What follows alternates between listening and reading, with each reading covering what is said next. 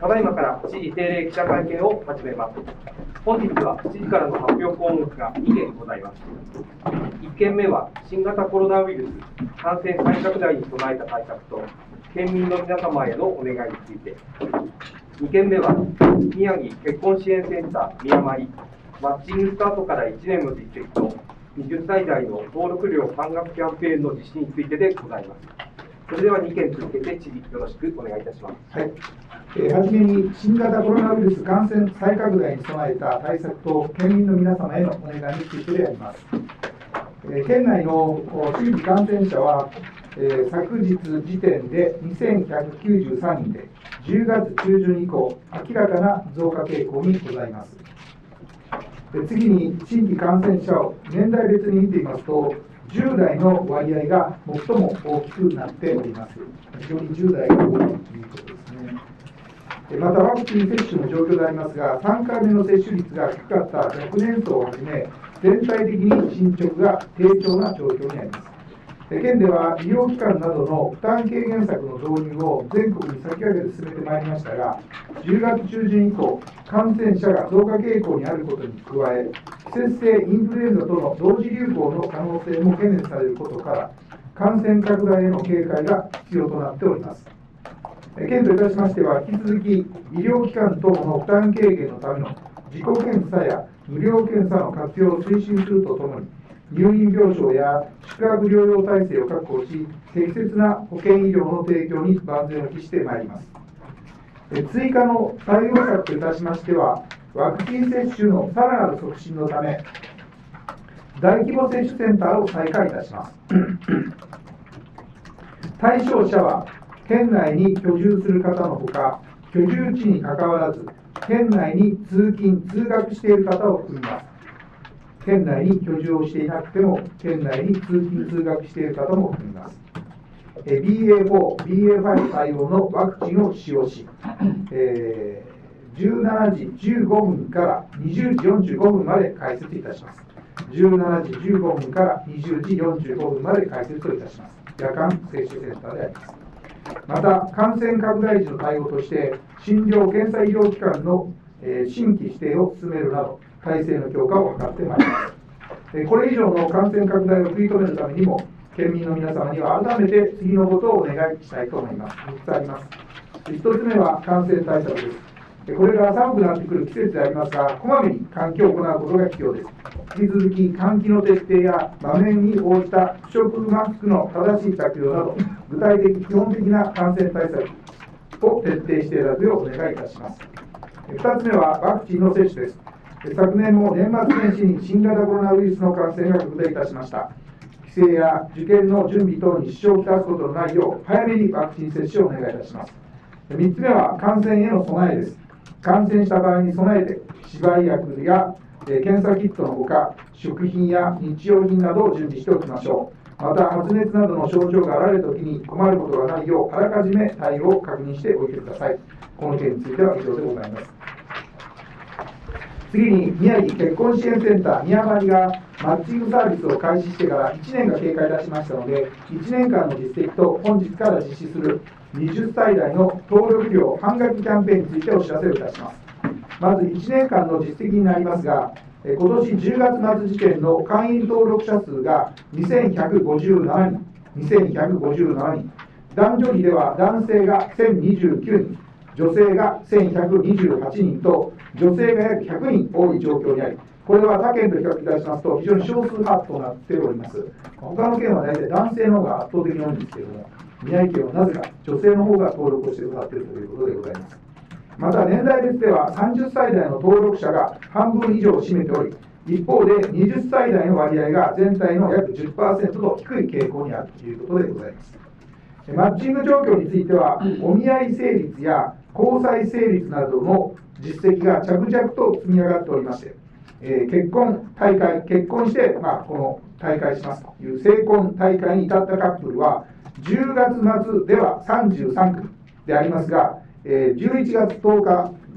えー、時点、それから10日間ですね、10月末で33組ですが、それから10日間で6組増えまして、39組となっております。そのうち14組36%が AI による紹介が出会いのきっかけとなっております。あのこれ登録いたしますと、すべて AI ではなくてですね、自分で検索することもできるということですので、まあ、自分で検索をして、パートナーを見つけた方もおられますし、AI による、えー、紹介で、えー、マッチングになった方も14組おられたということでございます。結婚して退会された方のコメントについてですが、AI マッチングサービスに対する感謝の言葉や資料の裏面にございますが、現在活動されている方へのアドバイスなどをお寄せいただいております。また、宮前をお勧めするポイントといたしましては、え宮城県が開設している、行政が開設しているという安心感や、スマートフォンを使って効率よく活,、え活動できることなどを挙げていただいております。え次に2の20歳代の登録料半額キャンペーンについてであります。幅広い年代の会員によるマッチングや出会いの機会の拡大を図るため、登録者数の割合が低い20歳代を対象とした登録料半額キャンペーンを本日より期限限定で実施いたします。期限は来年2月28日までとし、20歳代の方は2年間有効の登録料1万1000円が半額の5500円となりますので、ぜひこの機会にご登録ください。これ2年間で1万1000円ということですね。ですねで20歳代の方は5500円で2年間有効です。県内で結婚を希望される方は、ぜひ宮城結婚支援センター宮間をご活用ください。これあの入会の条件としてあの、えー、所得証明書と独身証明書ですね、これを提出していただかないとダメだということで、まあ、その辺は厳しくさせていただく、それを面接するんで、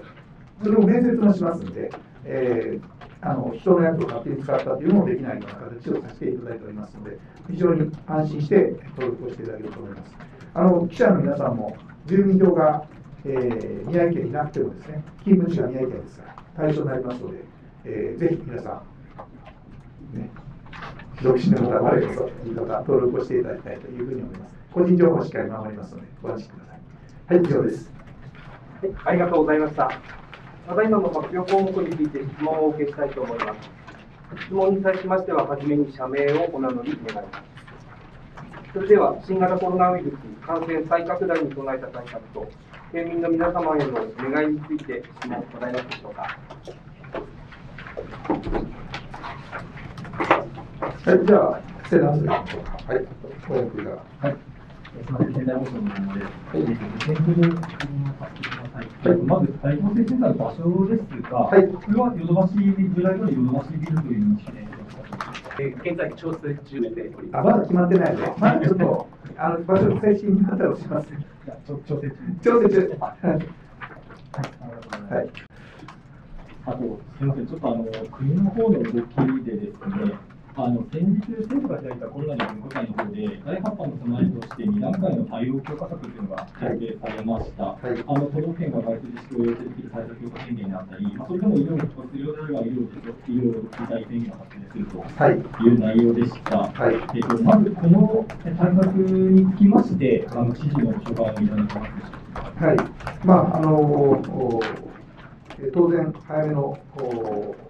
対応方針を決めて、えー、それをお知らせするということは重要なことだというふうに思っております。前回あのレベル0から4までだったんです今回はレベル1から4というレベルの分離もこう変えましたし、えー、都道府県の対応というものも一部変更になっておりますが、基本的にはですね、できるだけ社会経済活動を回しながら対策を取っていくという方針であろうかというふうに思っております。まあ、とはいえですね、え、感染者が急激に増えて、病床が逼迫するということになればですね、ある程度の宣言等を出して、え、規制をしていくということも必要になってくるかもしれません。ま、その意味でもですね、あの早めに皆さんワクチンを打っていただく。ま、ワクチンを打っていただくと、感染しても、え、重症化しづらくなりますので、え、皆さんで、え、自分の命を守る、え家族を守る、周りの人を守るという意識を持ってですね、早めにワクチンを打っていただきたいなというふうに思います。私も近いうちにえー、5回目のワクチンを予定にしております。最後1点だけ分かりません。あの国の方はですね、一応先週の時点だと、その行動制限などは要請しない方針であるということだったんですけれども、はい、まあ、今回の2段階の対策だと、自治体にその判断を委ねているという形になるかと思うんですが、はい、この行動については、どのように委ねていはいまああの地元の事情をよく分かっているのは自治体でありますので、ある程度自治体の裁量に任せるというのは、私は、えー、あっていいのではないかと思っております。あの宮城県はあ、まあ、今までと同じようにですねえ、できるだけ経済を回しながらしっかり対応していくというこという方針のもとにですね、えー、専門家の先生方のご意見を聞きながらですね、適切に判断をしてまいりたいというふうに思います。はい、はい、どうぞ、厳しいお願いします。どうも、コートの小川です。えっと、まずですね、ちょっと大枠の方になりますけれども、先ほどあの10月中旬以降、明らかな増加傾向にあるというふうにご指摘されましたけれども、これが第8課程の認識でいらっしゃるのかということと、えっと、それからですね、えっと、先ほどからお話ありました、その政府の新しい対応について、えー、発表されてますけれども、これを受けてですね、県としての対応について決める、その対策本部会議のようなものを開催する予定があるのか、あるいはその県として、えー、どういう対応を具体的に取っていくのかということ、アウトラインが決まっていれば教えてください。はいえー、まあ、患者の出方を見ますとですね、第8波の入り口に入っていると言っても間違いないだろうというふうに思います。えー、そういう認識で対応を考えていく必要があるだろうというふうに思っております。えー、対策本部会議については今のところ開催する予定にはしておりません。もう少し遅いみたいというふうに思っております。現時点において、えー、何か対応を考えているかということですが、あのすでに今まであの、えー、宣言は一貫に締めましたけれども、まあ、宣言の期間中と同じ対応を県民の皆さんにお願いしているという状況でございますので、まあ、あの今のところはそのお願いベースを継続をしたいというふうに思っております。はい。あの政府の方で出しているその新しい指標におけるレベル3だったと思いますけれども、はい、それもその目安がおおむね病床使用率50%と示されているかと、あの直近の数字ですと、40%で迫っているような状況で、はい、えー、まあ、あの特に北の方寒いところがですね今ちょっとやっぱり患者数の増加というのも傾向の顕著だと思うんですが、はい、その辺について、まあそ、それほど遠くない未来にですね50%の可能性もあるわけですけれども、現時点でどう思いますか。はいあのその可能性はあると思います。やはりどうしても寒い地域は、えー、窓を閉め切って暖房を入れるようになると思いますので、やはり換気をあまりしていない。それから、えー、特に東北地方は今まで患者数が他の地域に比べて比較的少なかったので、えー、そういうことから考えるとですね、まあ、患者があ新たな患者が出やすい環境になる、まあ、そういったような要因が重なったのではないかなというふうに思っております。えー、まあ、レベル3になりますと、対策強化宣言を出すことができる、そして、え大人数の会食や大規模イベントの参加の見合わせであったり、濃厚接触者でない接触者に出勤停止をあごめんなさい、えー、イベントを見合わせるといったようなことを考えられることでありますが、この辺は、えー、状況を見ながらですね、まだ、えー、50%達成したわけではありませんので、それに近くなってまいりましたら、対策本部会議等を開いてですね、まあ、専門家のご意見を聞きながら、それを考えていきたいというふうに思っております。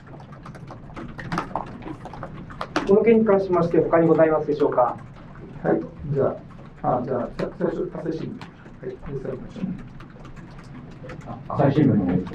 大規模接種センター再開の件で、になるんですけれども、あの今あの、今日もご説明聞きますと、ワクチンを打ったの接種が低調だというお話がありました。で、あの低調だということは、そんなに需要が残念ながらないのかなと思ったりもしていて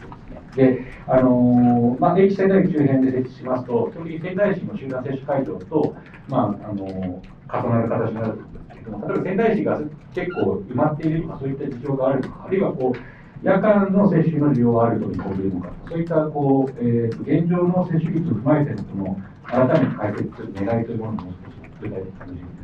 はい、あの仙台市の集団接種会場と夜間、夜やってないんです。えー、働いているそして働いている方は、まあ、仙台に集中している。働いているので、残念ながら昼間接種ができないということが言われると思いますので、あのそういう方を対象に、えー、夜だけやるようにしたということです。でだい今までは昼間もやってたんですけれども、昼間は、えー、他の病院だとか集団接種会場が比較的、まあ、余裕があるということがありますので、まあ、そこまで県がやる必要ないだろうと考えたということです。ありがとうございます。それだとちょっと細かい話なので、ごめんなさい、その担当家さんからのお書きになっちゃうかもしれないです、現状でその例えばファイザー製とか、その辺をどういったワクチンを使うのかですね、あとまあ場所まだ特定できないということを知ったけど、仙台駅周辺ということでいいのかとか、そういったもう少し可能な具体の部分これはモデルナできる。はい。マイク。あワクチン接種推進室です。えーまあ、あの使用ワクチンにつきましては、えーファイザーファイザー社製の、えー BA.45 の、えー対応ワクチンになっております。であの接種規模につきましてはですね、えーまあ、あの会場の都合にもよりますけれども、最初は、えー100から300人程度で、えー開始したいと考えておりました。あと、えーまあ、会場の、えー規模によってですね、えーその後、えー拡大することも、えー考えております。場所は仙台駅周辺でいいです。場所は仙台駅周辺で今検討中。ありがとうございます。こちら、次、実際の方。はい。あ、えー、認定です。すみません、えー、日経新聞につきです。えーと、大陸福祉センターなんですけれども、あのーこれまでと同じ、その県と市と東北大のこう連携した接種センターという理解でいいでしょうか。はい。あの従来と基本的には同じです。まあ、規模の大きさはありますけれども、基本的に同じです。わかりましたありがとうございます。はい、じゃあ、山本さん、経中教あすみません、あの、あの実務的な話で、12月からっていうことですけど、12月のあ頭から、具体的に何日からいつ頃までは少なくともやるとか、もし可能な範囲でご記入で。じゃあ、これで、はい。えー、ワクチン室です。えーまあ、あのできればあの12月の初めから始めたい方向で進めておりますけれども、えー先ほどお話ししたようなあの会場の方の、えー確定とあと、えーまあ、従事者の関係、それからあと、えー実際の、えー、造作の部分として、えーまあ、あのできるだけ早めにということで、まあ、確定ではないですけれども、12月の初旬からということで、えー考えております。で、えーまあ、あの終了の方もですね、えー今のところはあの1月のえー末ぐらいまでを考えておりますけれども、こちらの方も、えー感染状況等々によってですね、えーまあ、変更する場合もございます。ということで、まあ、マスコミの発表としては、12月の初めから、えー一定期間という形で、まあ、1月、うー何1月え末末までにしておきましょうか。えー12月初旬から12月、1月末までにしておきましょう。はい。この件に関しまして他にございますでしょうか。はい、どうぞ。はい、新聞。えー毎日新聞の小川と申します。先日、えー愛知県でワクチンを打った女性が、えー接種後に亡くなられて、えーご家族の方や、えーアナフィラキシーの対応現場の、えー医療関係者の方が接種しなかったというふうに指摘されているニュースがありました。でこれを受けて、その県として、えーワクチン接種に携わる医療関係者に何か改めて言いたいことがあれば教えていただきたいと、まあ、その件について何か思うことがあれば、はい。まあ、あの、ワクチンによる副反応につきましてはですね、あの、我々、えー行政としては、えー知見を、細かい知見を持ち合わせておりませんので、これについては専門的な、あ医師の判断ということに委ねざるを得ないというふうに思っております。まあ、思うところということですが、あのアナフィラキシーで肺がんになったという、しっかりとした、まあ、論拠があるのかどうかも含めてですね、よく調査をしていただきたいというふうに思います。残念なちょっと細かいことはちょっとわからないというしません。この件に関しまして他にございますでしょうか？はい、どうぞ。大変すみません、そんなご相談です。あの忘年会についてちょっとお伺いしたいんですけども、はいあの全国の自治体では、その例えば11月中に忘年会をやってほしいというような自治体があったりとかですね、はいそういうようなことがあるんですけど、知事としては忘年会について現段階でどのようにお考えになっているかということを教えていただけますでしょうか？はい。あの、これでお示しした、あの、椅子の間隔1メーター空けるというようなことを、また換気をこまめにやっていったようなこと、消毒をするというようなことですね。こういった基本的なあことを守りながらですね、えー会食を楽しんでいただければというふうに今の段階では思っております。この件に関しまして他にございますでしょうか？ちなみにあの山形県知事もかかったということで、北海道、東北、7道県でかかっていないのは私と岩手県知事だけです。まもなくです。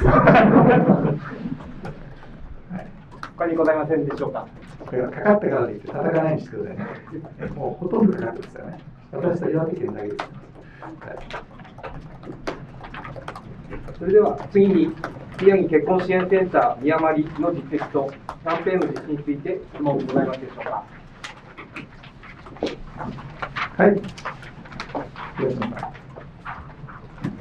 ワクチンときましたね。えっとですね、20歳代の音楽キャンペーンについてお伺いしたいんですけれども、このまあ、その割合が低いからっていうのはなんとなくわかるんですけれども、そのもう少しその20代を手厚くする、まあ、理由というか、もう少し背景があれば教えていただきたいんですけど。はい。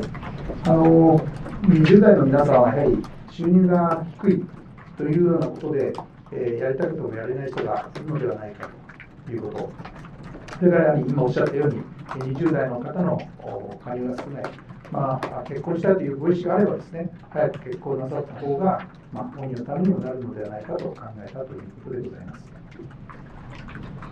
あのまあ、やっぱりいろんな価値観内ライフスタイルがあるんですけども、結婚支援、まあ、県の施策としては、やはり少子化対策というところがわってくると思うんですけれども、えーまあ、何回か議会答弁で、やっぱり若い世代の、えー結婚が少なかったり、まあ、結構そもそも結婚の時期が遅くなっていて、最初にまあ、子供が欲しくても、まあ、生まれるのが年を取ってからというのは背景があったと思うんですけど、そことの関連があるのかはい、それもあります。晩婚化、晩産化。あの、まあ、あご本人の意思で、えー結婚が遅れるということは、これはもう別に問題ないんですけれども、結婚したいというご意思があるにもかかわらずですね、なかなかパートナーが見つからないので、結婚が遅くなってしまうという方もおられるはずですから、まあ、そういった方たちには、まあ、早く公共通り結婚していただきたいと考えたということであります。ありがとうござい。はい。この件に関しまして他にござい。ますでしょうか。はい、どうぞ。よろしくお願いします。天心本です。えーと、この宮割について、まあ、1年39組ということですけども、まあ、率直にあのこの39組という、まあ、あの数についてあの、まあ、どう思っているかっていうのを、あの半分で思うんですけども、はいお答えいただきたいあの同じ仕組みをやっている他の県と比べると宮城非常に高いです。非常に高いです。そういう意味では、あの成功していると考えてよろしいんじゃないでしょうか。比較する対象が他の都道府県しかありませんので、考えると非常にうまくいってると思います。まあ、先ほど言ったように、民間でも同じようなことをやってるんですけれども、あの我々の場合はお金儲けが目的ではなくて、純粋に、えーいいパートナーを見つか見つけてほしいという、それはもう狙いですから、あの金額も非常に安いですし、え何よりもしっかりとした、えー証明書をもらって、独身である、ちゃんと収入がどれぐらいあるかという証明をもらって、面接までして、えー登録してますから、安心感につながっているのではないかなというふうに思いますね。まあこれが成功の要因だというふうに思っています。ありがとうございます。この件に関しまして他にございますでしょうか？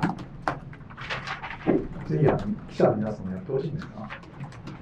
お願いします。彼女、彼氏といない人はどうぞお願いします。よろしいでしょうか？なければ以上で知事からの発表項目についての質疑を終了します。以降の進行を幹事さんにお願いいたします。